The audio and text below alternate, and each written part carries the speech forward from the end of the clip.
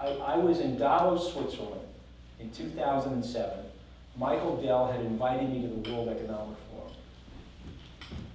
I got to the Belvedere Hotel. I had my best first impression suit on.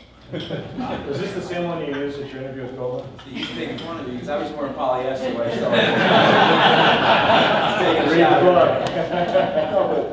at me. No, but we're gonna go to that second. I thought I looked fantastic in that first job. I had a hundred percent poly black suit on. I had a hundred percent white poly shirt, you know, I had the whole sheen going. Charlie Sheen, Charlie I had- Sheen. Winning, winning. I had the black Guido tie going. And I had shoes that were a lot pointier than they should have been for 1988.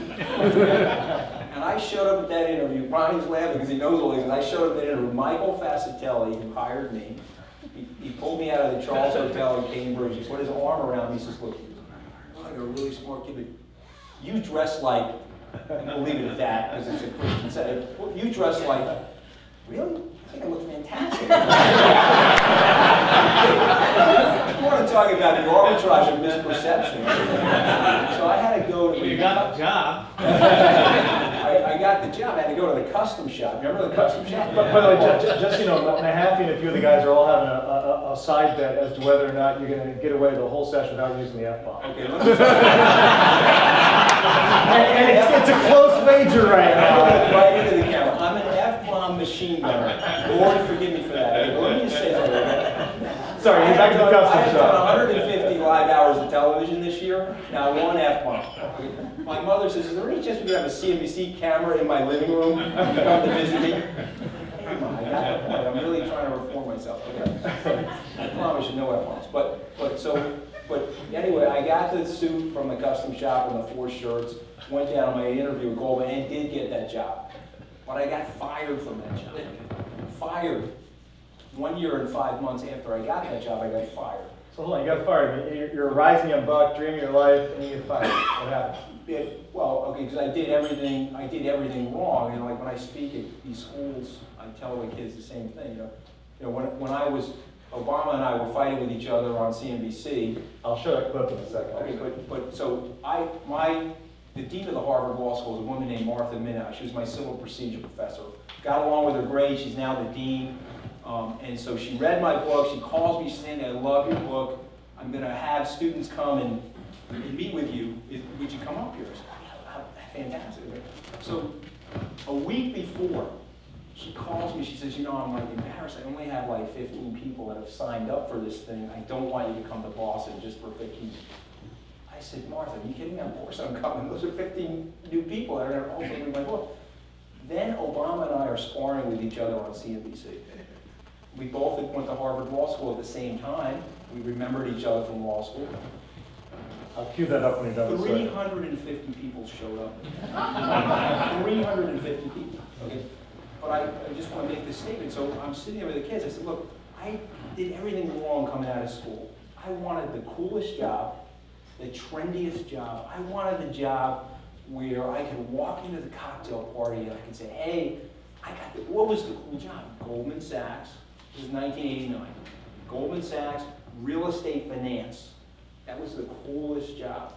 You know, that was the worst job on earth for me, and I was terrible at it. But I charmed my way into that job. I got it. I had better suits on, more wool in the suit. Showed up down there, and I was terrible at it. And you know what? A year and five months later, into the recession of 1990, I got fired from the job. Because you got to think about that, right? Now, I did. I just want to say these two Yeah, other things. go I want for it. people to know this. I did two stupid things entering Goldman Sachs.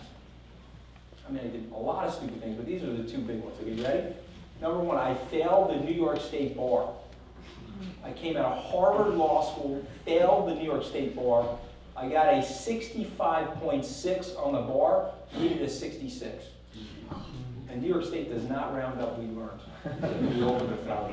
I missed it by one multiple choice question. And what was I doing? Manhasset Bay is about seven miles away.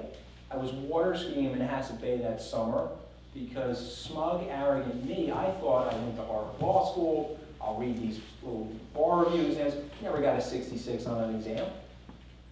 But that test you really had to study for, okay? So I failed the bar exam. The day after I found out that I failed, New York Post article, the hunk that flunks. You turn the page, it's John F. Kennedy Jr. He bought it on the same day as me.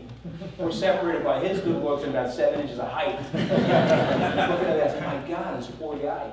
You know, I mean, I'm failing and embarrassing myself in front of my employer or my friends, but he's failing in this national audience. But I failed the bar. Number two, how many people here have taken the Series 7? Yeah. Okay, does anybody remember Series 7 chicken? Fine, you remember that? Okay, what Series 7 chicken? Cocky trainees in the training class.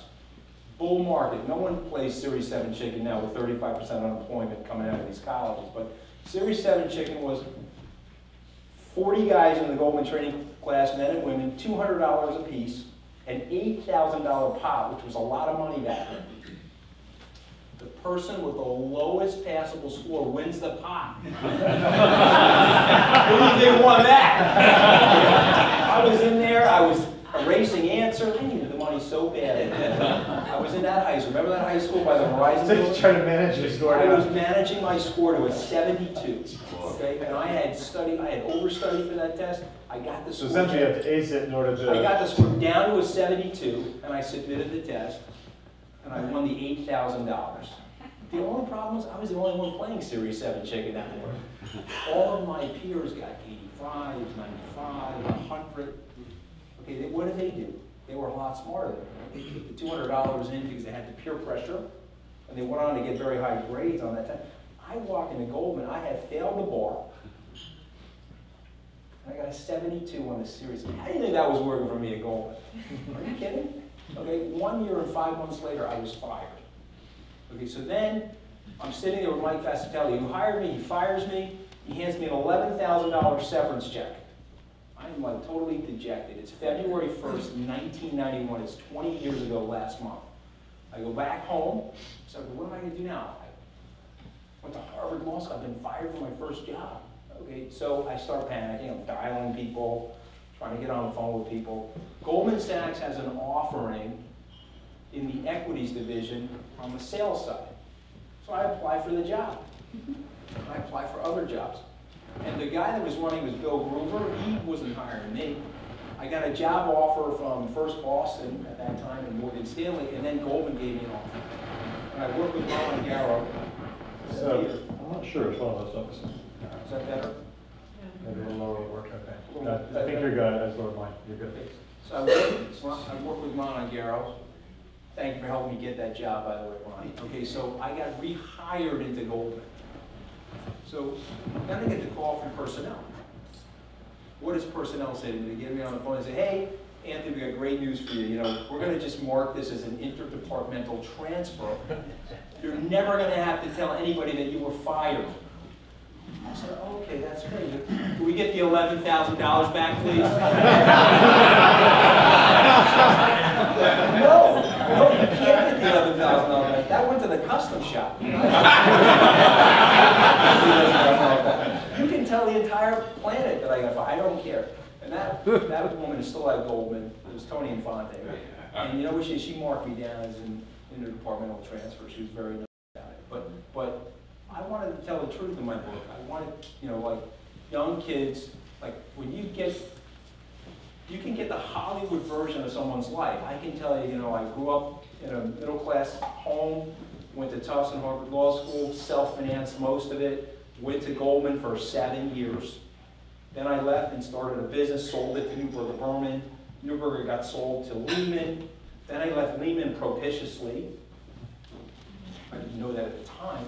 I thought the stock was. You didn't know the word propitious, or you didn't? I